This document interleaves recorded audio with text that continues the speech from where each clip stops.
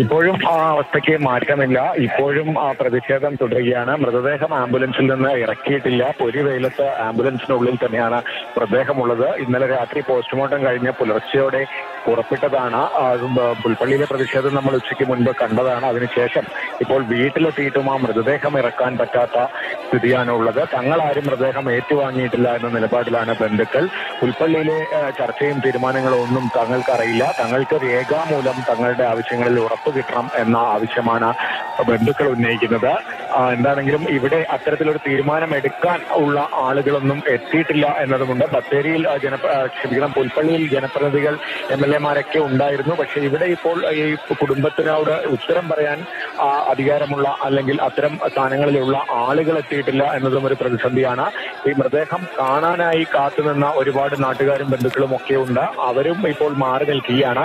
കുറച്ചുപേർ ആംബുലൻസിനകത്ത് കയറി മൃതദേഹം കണ്ടുപോകുന്ന അവസ്ഥയുണ്ടായിരുന്നു. അപ്പോഴേക്കും ഈ പ്രതിഷേധിക്കുന്ന ആളുകൾ ആംബുലൻസിന്റെ വാതിലടച്ചു അങ്ങനെ പൊതുദർശനം ഈ പ്രശ്നം തീരാതെ ആളുകളെ കാണാൻ അനുവദിക്കേണ്ട എന്ന ഒരു നിലപാട് കൂടി സ്വീകരിച്ചു. അതോടെ ഈ പ്രദേശത്തെ ആളുകൾ സ്ത്രീകൾ ഉൾപ്പെടെയുള്ളവർ ഈ മൃതദേഹം കാണാൻ വീട്ടിലേക്ക് എത്തിയവർ ഉൾപ്പെടെ ഇവിടെ മാറി നിൽക്കുന്നുണ്ട്. ഈ ബന്ധുക്കൾ അതുപോലെ കുറച്ചുപേർ ആ റോഡിൽ പ്രതിഷേധിക്കുന്ന അവസ്ഥയുണ്ട്. പുൽപ്പള്ളി മാനന്തവാടി റോഡ് അരികിലാണ് ഈ പോളിന്റെ വീട്. ആ റോഡ് അടക്കം ഇപ്പോൾ തടസ്സപ്പെട്ട് ആളുകൾ നിൽക്കുകയാണ്. ആംബുലൻസ് ഈ വീടിന് മുന്നിൽ നിർത്തിയിട്ടിരിക്കുന്നു. എന്താണെങ്കിലും ഇതിനൊരു പരിഹാരം ഉണ്ടായേ പറ്റുള്ളൂ. കാരണം ഞാൻ പറഞ്ഞതുപോലെ ഈ മൃതദേഹം ഇന്നലെ രാവിലെ ഒൻപതരയ്ക്ക് ഉണ്ടായ അപകടമാണ് ഉച്ചയോടെ ഉച്ചയ്ക്ക് ശേഷം ആണ് ഈ മരണം സംഭവിച്ചത്. രാത്രി പോസ്റ്റ്മോർട്ടം കഴിഞ്ഞ മെഡിക്കൽ കോളേജിൽ നിന്ന് രാവിലെ കൊണ്ടുവന്നതാണ്.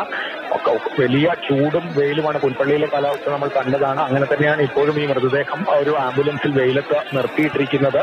അതുകൊണ്ട് തന്നെ അടിയന്തരമായ ഒരു പരിഹാരം ഉണ്ടാക്കി സംസ്കാര ചടങ്ങുകളിലേക്ക് എത്തേണ്ടതുണ്ട് പക്ഷേ അതിനുള്ള ഇടപെടൽ നടത്താനായ ആവശ്യമായ ആ ഒരു ഉത്തരവാദിത്തപ്പെട്ട ആളുകൾ ഇവിടെ ഇല്ല എന്നുള്ള ഒരു സ്ഥിതിയാണ് ഇപ്പോഴുള്ളത്.